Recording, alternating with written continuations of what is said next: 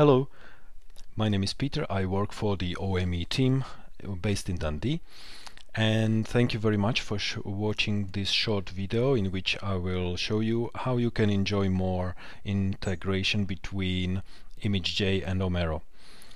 Um, first of all I will show you how you can on an image which I'm just opening in ImageJ uh, create a couple of regions in ImageJ and uh, export these regions into Omero directly together with the image you've just opened. So I'm using the Bioformats plugin to open a stack in the DV format which has just happened. I will find a nice plane and I will use the ROI manager of ImageJ to add a couple of types of regions onto this image. First a rectangle, I will add it to ImageJ, then I will choose an ellipse, add it to the list of regions in the ROI manager. Now I would like to export the image as it is in its original format as a DV with those two regions into Omero. For that I will use our uh, improved plugin uh, for ImageJ um, which when you put it into your plugins folder of your ImageJ will create this new item Omero and we have a new uh, sub item upload and save to Omero. This I will execute. I will be encouraged to log into my uh, Omero server, which I do. And after that, a data manager of Omero Insight appears, and immediately after that, an importer of Omero, where I'm asked to select the place uh, into which to import the image which I have in my current window of ImageJ. I will select a project called ImageJ Results and a dataset called original format. When I click add to the queue, the content of the current um, window in ImageJ is put into the queue and I will import the stack in its original DV format. Uh, I didn't have to click any uh, tick boxes or uh, doing do something special in order to import those two regions. They will be automatically added to the image and transformed into Omero regions. So after the import has finished, just now I went to the data manager of Omero Insight.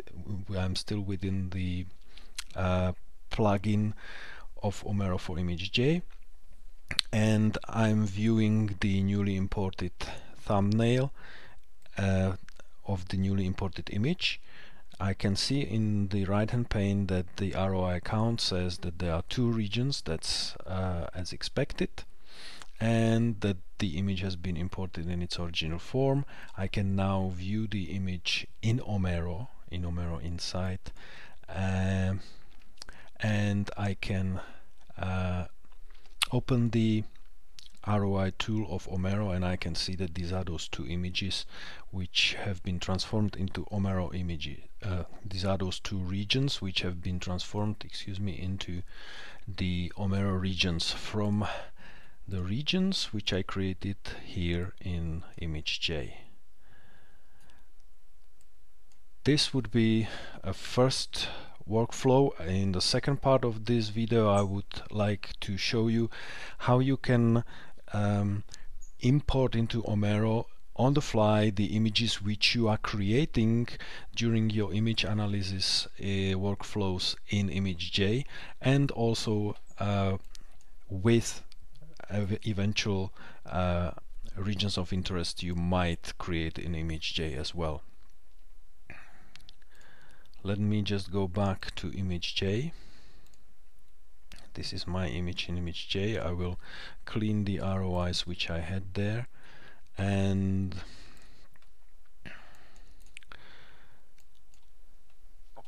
one of uh, the workflows I would like to demonstrate here is a simple idea that very often in ImageJ you might want to crop your image. Uh, so let's do that. I will use the ImageJ command image crop. A cropped image has been created from the original DV image which I had open in ImageJ. I just created a new image on which I will um, also create a couple of regions. And now I will export this new image directly into Omero using the same command. So again plugins Omero upload and save to Omero again I will select the project and uh, another dataset called crops uh, as a place where to export the image in the current window of my ImageJ which is this one. And I will add it to the queue and press import. What is happening now is ImageJ is exporting uh, the planes of the stack and writing an OME TIFF this is done by our bioformats plugin and this OME TIFF is now being imported into Omero.